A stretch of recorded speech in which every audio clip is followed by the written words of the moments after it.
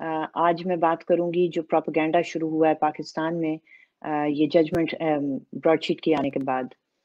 बात यह है कि प्रोपागेंडा दो तीन किस्म का किया जा रहा है। बेसिकली एक ही बात है। मैंने एक क्लिप देखा छोटा सा जिसमें शहजाद अकबर साहब जो एसिड रिकवरी यूनिट के हेड हैं, उनसे शाहजेब दादा पूछते हैं कि आप ये जो इतने सारे पैसे हमें देने पड़े हैं, ज़ाहिर है ये कोई रिकवरीज हुई होंगी उसका कमीशन आपने दिया है। तो कहते हैं हाँ जी, ज़ाहिर है रिकवरीज तो हुई है उसके लिए हमें छोटी सी प्राइस पे करनी पड़ी है। तो ये आप एक दफ़ा क्लिप देखिए। अच्छा एक दूसरे किस्म का भी हो रहा है। अब जैसे फवाद चौधरी साहब ने भी, ये सारा हम बार बार आपको दिखाते रहेंगे। फवाद साहब और साहब ने, असद उमर साहब, फवाद चौधरी साहब वो बता रहे हैं कि देखें, इनकी कितनी ज़्यादा वेल्थ है। इनके ऊपर तो अब मुहर लगा दी है। लंदन के हाई कोर्ट ने कह दिया कि इनकी वेल्थ कितनी ज़्यादा है। तो अभी आपको दिखाते हैं क्लिप स्टार्ट करते हैं। पहले क्लिप देखिए शहजाद अकबर साहब क्या कह रहे हैं। ये एक सवाल ये है शहजाद अकबर साहब के इसमें जो इन्हें हम 28 मिलियन डॉलर्स दे रहे हैं वो 20 परसेंट दे रहे हैं जो रिकवर हुआ होगा तो ये 140 मिलियन डॉलर किससे रिकवर हुआ है? ये तो अब आपको जो उस आर्बिट्रेशन को खोलना पड़ेगा कि उस आर्बिट्रेशन के फैसले के अंदर है वो क्या डिटेल्स है किसके एवज दिया गया है अगर एक आर्बिट्रेटर्स ने एक अवार्ड किया और फिर वो अपील के प्रोसेस से भी गुजरा तो रिकवरीज तो ही हैं। उस रिकवरीज होने के बाद ही ये पैसे उनको दिए जा रहे हैं। हुकूमत पाकिस्तान ने और ये सवाल बिल्कुल बनता है कि ये जो आप कह रहे हैं कि हम देने जा रहे हैं, ये इसकी डिटर्मिनेशन के, इनको पैसे दिए जाने हैं वो 2009 से लेके 2016 तक की कार्रवाई हुई। मैं आपसे दरख्वास्त करूँगा कि उस वक्त जो लोग इसको डील कर रहे थे, जो लोग इंस्ट्रक्ट कर रहे थे हुकूमत पाकिस्तान के बिहाफ पे, आप उन्हें अपने प्रोग्राम पे बुलाइए। उस वक्त के जो अटॉर्नी जनरल थे, बिकॉज़ अटॉर्नी जनरल ऑफ़िस तमाम इंटरनेशनल आर्बिट्रेशन को देखता है। उनको बुला लीजिए, उनसे पूछ लीजिए कि ये कैसे हुआ, किस चीज़ की अवज दिया गया।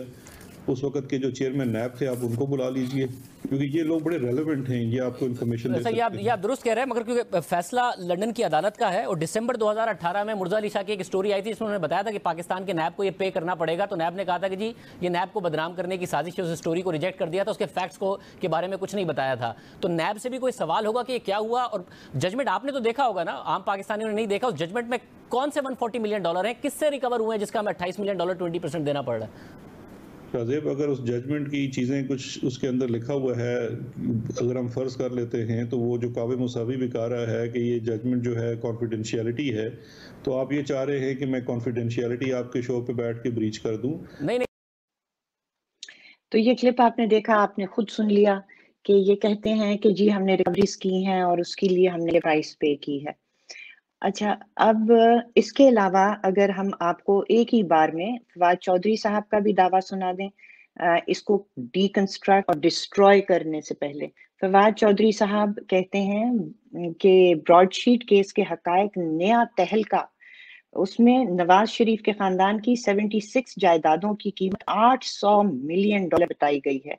और ये बात अब लंदन की अदालत कर रही है। फिर कहते हैं नवाज़ शरीफ की जायदादों को छोड़ें, आगे चलें। भाई कैसे आगे जा सकते हैं अगर इनको छोड़ दें? इसके बाद हम आपको असद उमर साहब की भी दिखा देते हैं। असद उमर की दिखाइए जी।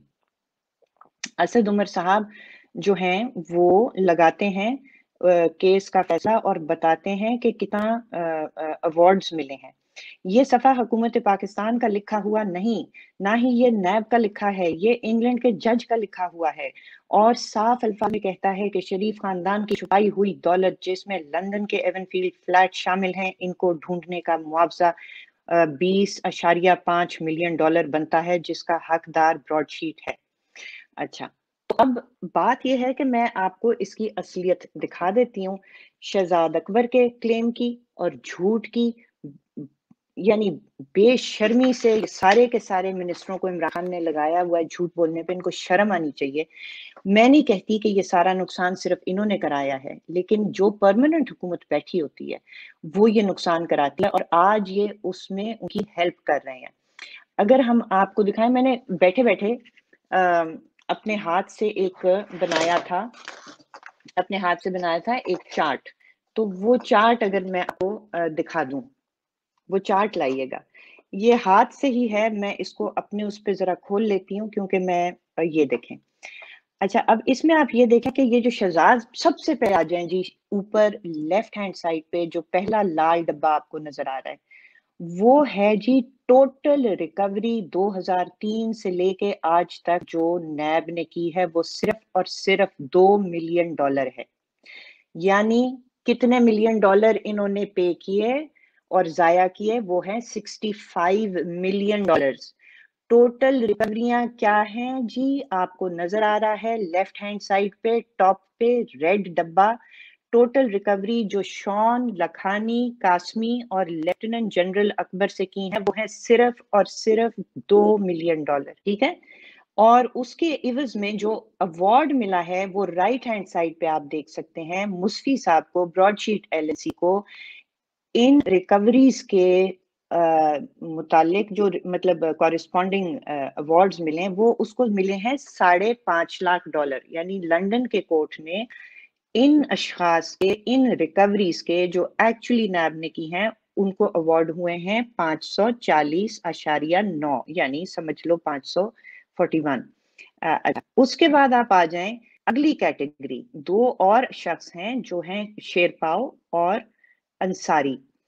अब इनसे जो रिकवरी हुई है, वो भी मिला जुला के आपको नज़र आ रहा है, जो राइट हैंड साइड पे सेकंड रेड डब्बा है वो कुल टोटल हुई है जी 548 million dollars sorry 548 thousand dollars यानी हाफ़ मिलियन हाफ़ मिलियन ऊपर दिखाई हाफ़ मिलियन ये दिखाई, कुल टोटल ये है जी वन मिलियन डॉलर इसको अवार्ड हो जाता है बाकी लोगों की वजह से। अब उससे नीचे आए तो ये ये भी नॉट रिकवर्ड एसिड्स हैं, ठीक है, जो आप लिस्ट देख रहे हैं जिसमें मियाँ नवाज़ शरीफ की फैमिली है, लोधी साहब हैं, डार साहब हैं, सैफ रहमान हैं, मजीबुर रहमान हैं। ठीक है तो ये लंबा चौड़ा जो रिकवरी का दावा है, जो वो कहता है कि मैं करा सकता था, उसके इवज में इसी के खाते में कुछ मिला सवाए मियाँ नवाज़ शरीफ के, जो 158 मिलियन डॉलर्स रिकवर करने का दावा है, उसमें से उसको 19 मिलियन मिलता है और एवनफील्ड फ्लैट्स में से उसको वन एंड हाफ़ मिलियन मिलता है, यानी मियाँ नवाज़ शरीफ की अनरिकवर्ड एसेट्स में से कुल टोटल 21 अशारिया पाँच मिलियन डॉलर अवार्ड हो जाता है। किसको? ब्रॉडशीट को। अब ये जो मियाँ नवाज़ शरीफ का जो रिकवरी का फिगर है, वो इतना बड़ा क्यों दिखा रहे हैं? 158 मिलियन डॉलर्स वो बड़ी मज़े की बात है, वो उसके ऊपर हम आते हैं। अब नीचे आ जाइए, जो सेकंड लास्ट लाल डब्बा है। उसमें मैं एक दफ़ा आपको फिर से समझाने के लिए कि जी टोटल अवार्ड 22.5 या कह लो 22.6 मिलियन अवार्ड हो गया ब्रॉडशीट को। जिसमें से शरीफ खानदान की वजह से जो अवार्ड हुआ है, वो साढ़े इक्कीस मिलियन है। यानी बाकी सारे मिला के कुछ नहीं, जिनसे एक्चुअली रिकवरीज हुई हैं ठीक है? वो सिर्फ़ आधा मिलियन डॉलर है और शरीफ खानदान जिसकी कोई रिकवरी ही नहीं है उसकी वजह से आपने साढ़े इक्कीस मिलियन अवार्ड करा दिया। अच्छा अब इसको हम आ, मेरा ख्याल मैंने समझा अच्छा नीचे नीचे जो लास्ट डब्बा है ना वो आपको बता रहा है ब्रेक डाउन यानी साढ़े बाईस मिलियन हुआ है ये commission on potential recoveries actual and potential actual सिर्फ़ आधा मिलियन था। ये सारी पोटेंशियल रिकवरीज मोस्टली मियाँ नवाज़ शरीफ की मिलाकर जो कमीशन अवार्ड हुआ है, वो है twenty two and point five million dollars उसके बाद इनको अवार्ड हुई हैं लीगल और दीगर कॉस्ट जो कि साढ़े पाँच मिलियन डॉलर्स हैं, जो कॉस्ट इनकर की ब्रॉड शीट एलएलसी ने। और फिर टॉट भी अवार्ड हुआ है। वन मिलियन डॉलर का। तो कुल मिला के आप देख रहे हैं स्क्रीन पे ट्वेंटी नाइन मिलियन डॉलर्स का जुर्माना हुकूमत पाकिस्तान को बजरिया नैब हुआ है। अच्छा जी, अब हम स्क्रीन हटा सकते हैं और वापस आ सकते हैं। इस देखें ये जो इन्होंने 820 मिलियन डॉलर की बात की ना, ये अब यहाँ पहुँचा कैसे मामला? अव्वल तो इन्होंने कहा, बाकी तो अशखास हैं। लेकिन ये जो 820 मिलियन के इवज में जो आपको मिलता है ये 30 ऑलमोस्ट 30 मिलियन डॉलर वो इसलिए कि आपने बोजे नवाज़ में जो नाम डाले थे टारगेट लिस्ट में, उसमें शरीफ फैमिली पूरी डाल दी। जो जो आपके हाथ चढ़ा, जो कोई करता भी है गवर्नमेंट में है, नहीं है पब्लिक ऑफ़िस होल्डर है, नहीं है, मैं आपको नाम गिनवाती हूँ। इनके अब्बा का नाम डाल दिया, मियाँ शरीफ, फिर नवाज़ शरीफ फिर शहबाज शरीफ, फिर अब्बास शरीफ, फिर जनाब हसन नवाज़, फिर हुसैन नवाज़, फिर बेगम शमीम, जो वालदा हैं, नवाज़ शरीफ साहब की, जरा आप इनका इनका मैं क्या कहूँ, इनके, इनकी जरा हरकतें देखें। जिस आज खमियाजा भरा है पाकिस्तान के अवाम ने, उसके अलावा बेगम कुलसूम नवाज़, ये आठ बंदे कहते हैं कि इन आठ बंदों की वर्ल्ड वाइड जो वेल्थ है, वो 820 मिलियन डॉलर है। अच्छा अब ये जो असद उमर साहब कह रहे हैं कि ये किसी पाकिस्तानी जज ने नहीं लिखा, ये तो लंदन के जज ने लिखा है। फवाद चौधरी कहते हैं, ये तो लंदन के जज ने कहा है। भाईजान, मैं आपको स्क्रीन पे ये दिखाती हूँ जो लंदन के जज ने एक्चुअली कहा है। जरा स्लाइड नंबर वन लाइएगा। यह पेज फिफ्टी ये पेज फिफ्टी है ऑफ़ दिस जजमेंट और यहाँ लिखा है कि जो जज है ना, वो कहते हैं कि ये जी देखें, आपने हमें अपने सुप्रीम कोर्ट और अपनी जेआईटी के डॉक्यूमेंट्स ला के दिए कि आपकी जेआईटी कहती है कि मियाँ नवाज़ शरीफ की फैमिली के पास 820 मिलियन डॉलर हैं तो हम आपकी बात माने ले हैं। क्योंकि ये दो वहाँ के इंडिपेंडेंट सॉवरन अदारे हैं पाकिस्तान के।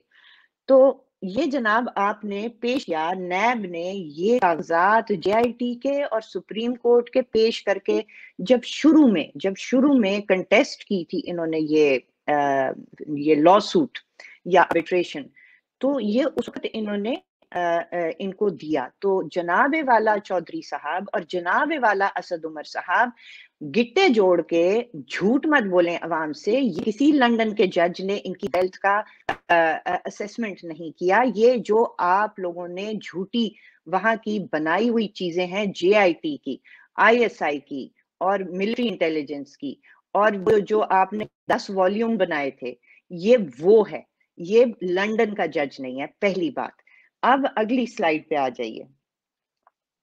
अगली स्लाइड पे आ जाइए। ये मैं आपको बताना ये चाह रही हूँ अब आपने देखे एक चीज़ और आपने नोट की होगी कि 22 में से, साढ़े बाईस में से या जितने में से भी वो 21 साढ़े इक्कीस जो हैं, वो तो नवाज़ शरीफ के खाते में आए ना?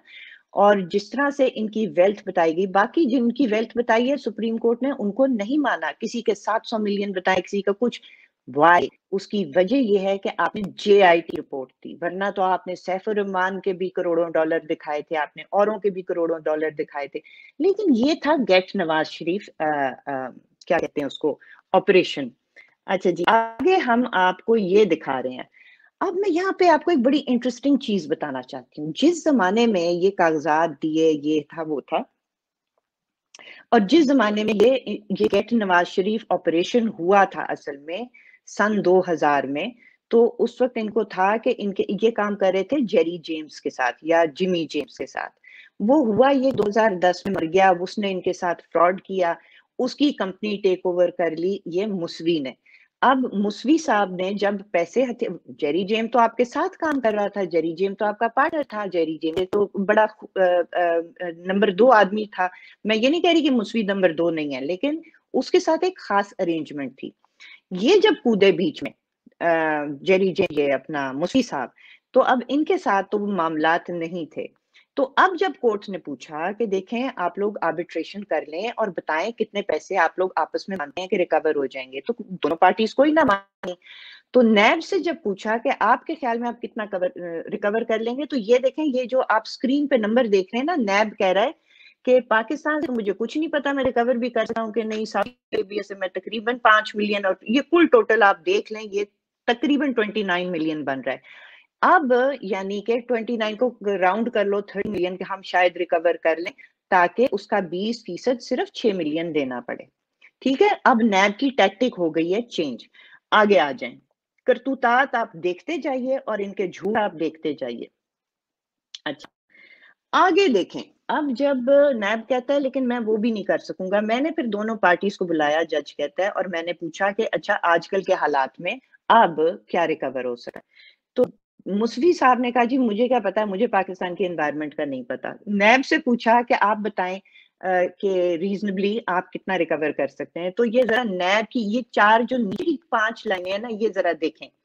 नैब कहता है कि, जी नैब के पास अब वो पावर ही नहीं है कि वो वॉलंटरली कोई पैसे नवाज़ शरीफ से वापस निकलवा सके, ठीक है? और ना नैब का कोई इरादा है सेटलमेंट करने का, नवाज़ शरीफ से ना कोई पैसे निकलवाने का इरादा है? और सारा एविडेंस जितना हमारे पास सबूत है, वो यही कहता है कि कोई पैसे कुड़की नहीं हो सकते हम से, यानी ज़ीरो हम ज़ीरो निकलवा सकते हैं। भाई, अगर नैब बिलीव करता है कि 820 मिलियन डॉलर करप्ट मनीज हैं शरीफ फैमिली के पास तो वो जज को ये क्यों कह रहा है कि हम तो कुछ भी नहीं निकलवा सकते? जरा सोचिए। आगे चलिए। अगली स्लाइड पे आ जाएँ। अब मेरा कंप्यूटर थोड़ा सा जैम हुआ है, मुझे एक मिनट लगेगा। ये जो अगले पे मैं भी पहुँच जाऊँ ऑडियंस तो पहुँच गई है। हाँ अच्छा जी। अब देखें जज क्या कहता है इस बातों पे? जज कहता है कि देखें, आप ये ऊपर पढ़े आप, ये जो है ना नंबर इलेवन नंबर इलेवन जज कह रहे देखें, मैं ये तो नहीं डिसाइड कर रहा कि आप रिकवर करेंगे या नहीं करेंगे, आपसे रिकवर होगा या नहीं होगा सेटलमेंट अगली कितने पे होगी नवाज़ शरीफ के साथ? लेकिन मेरे ख्याल में जहाँ 820 मिलियन आपने बताया तो बेटा शाबाश, पहले आप तो इधर आए ना। मैं अच्छा उसके बाद नंबर ट्वेल्व में वो कहते हैं कि आपके रिकवर मेरा ख्याल है जहाँ 820 है और आपकी जीआईटी ने कहा है और आपके सुप्रीम कोर्ट ने कहा है तो मैं ये अंदाज़ा लगाता हूँ अपने हिसाब से कि ये अब शिक नंबर 12 पढ़े कि आप 100 मिलियन तो कर लेंगे रिकवर तो चलें शाबाशी दनाए। ये जिसकी आपने अग्रीमेंट तोड़ी है शिक नंबर 18.5 उसको आपने डिप्राइव किया है उस अपॉर्चुनिटी से जो खुद आप कहते थे। तो पहले आप इसको तो पैसे दें। तो यहाँ उसने उसको फिक्स कर दिया है कि जी, मेरे ख्याल में आप फ्यूचर में अगर चाहेंगे तो कर लेंगे। आप हंड्रेड मिलियन रिकवर कर लेंगे। तो आप ऐसे करें कि उसके हिसाब से ये ट्वेंटी परसेंट इसको दें आप उन्नीस मिलियन मुसवी को।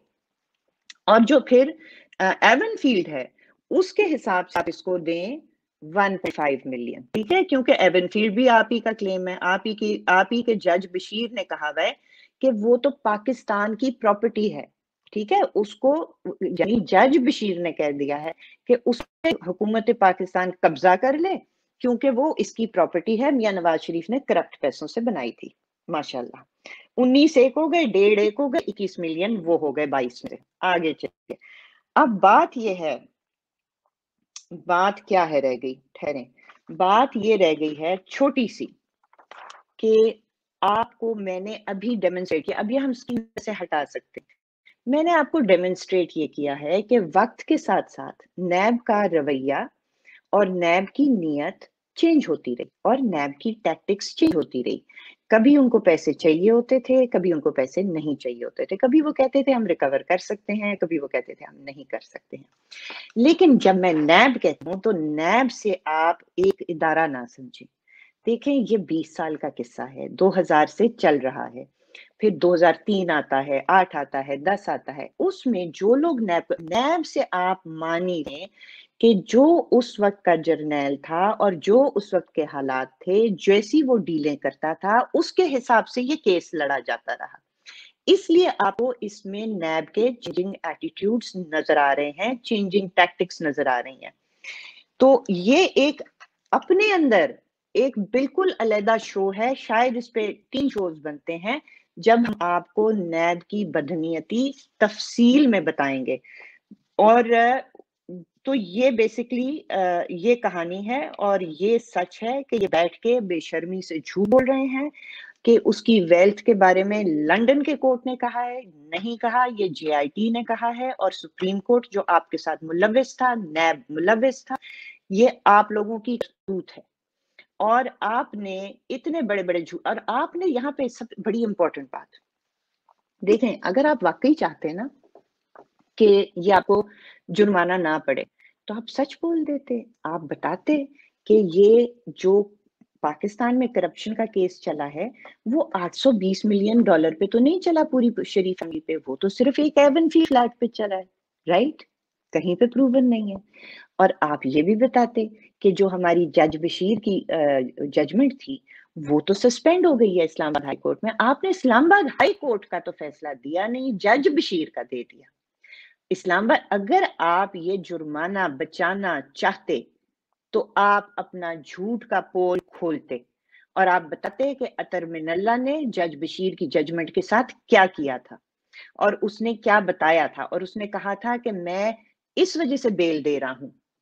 क्योंकि ये आपका बादियुन नज़र में गलत फैसला है, बदनीयती पे मबनी है। आपसे मैंने पूछा है कि एवन फ़ील्ड की वैल्यू क्या है? आप कहते हैं, हमें नहीं पता। आपसे मैं पूछता हूँ कि जो अक्यूज है, जो नवाज़ शरीफ है, उसके मीन्स क्या है? आप कहते हैं, हमें नहीं पता। तो आपने किस तरह ये फैसला दिया और किस तरह दस साल की सजा दी कि जब आपको ना एसिड्स पता है, ना मीन्स पता है तो एसिड्स बियॉन्ड मीन्स का आपने फैसला दे दिया। ये अगर आप पकड़ा देते यहाँ पे लंदन में आर्बिट्रेशन कोर्ट में तो क्या होता? ये आपने जो इक्कीस मिलियन साढ़े इक्कीस का नवाज़ के खिलाफ लिया, फिर उसके ऊपर आपको कोर्ट कॉस्ट पड़ी, मुसवी की, फिर अपनी लीगल कॉस्ट पड़ी। जो सबसे महँगी यहाँ की एलन एंड ओवरी फर्म है, उसकी आपने millions and millions of dollars में दी और कुल आपने नुकसान उठाया तकरीबन 65 मिलियन डॉलर्स का। और खुदा के लिए ये ना भूजे भूलें। 65 मिलियन डॉलर्स खर्च करके और आपने रिकवरियाँ जो की हैं, वो नवाज़ शरीफ से की भी नहीं है, वो दो मिलियन डॉलर हैं 2003 से लेके अब तक। बहुत बहुत शुक्रिया देखने का।